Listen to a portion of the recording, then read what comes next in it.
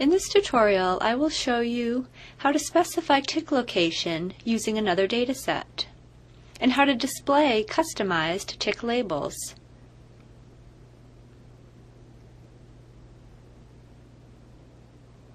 We begin with a workbook and a graph side by side, and let's customize the axes for this graph. I'm going to double click on the x-axis to bring up the axis dialog.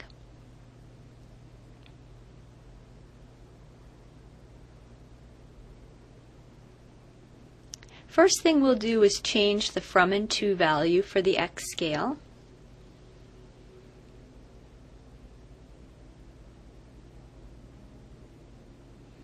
And then we're going to specify to use the values from column C in our worksheet to position our tick marks on the x-axis.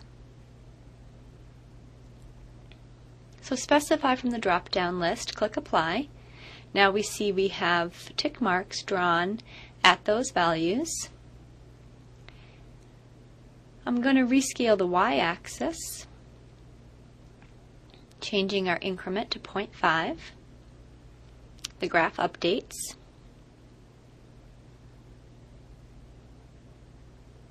Going to turn on the display of the top X and the right Y axes. Check Show Axis and Ticks, Apply. Repeat that for the right selection, which will turn on the right Y axis. Now if we want to turn on or, or, or change the tick direction, there's a major ticks, minor ticks, we can set those to in tick marks will point in. We can apply that to the entire layer, so for both X and Y axes our tick marks are pointing in. We're going to add tick labels to the top X axis, so you make that selection on the Tick Labels tab. Show Major Labels, and from the drop down, we're going to use values from column D. We choose tick indexed data set so that at each tick mark it'll position from that column. Select again from our drop down custom label and click apply.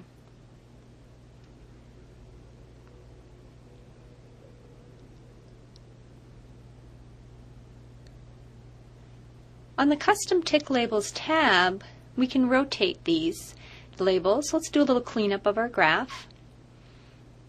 Okay, now we can read those. We'll repeat that for the bottom x-axis. Let's rotate those tick labels. Now the tick labels are still drawn off the page, but first things, let's add major grids. It'll be a little bit easier to read our graph here. So our top and bottom x-axes, the tick marks are lining up here. We turned on those grids. Now to get a better view of the graph, if we right click, we can choose Fit Page to Layers. So we can adjust the size of the page and layer.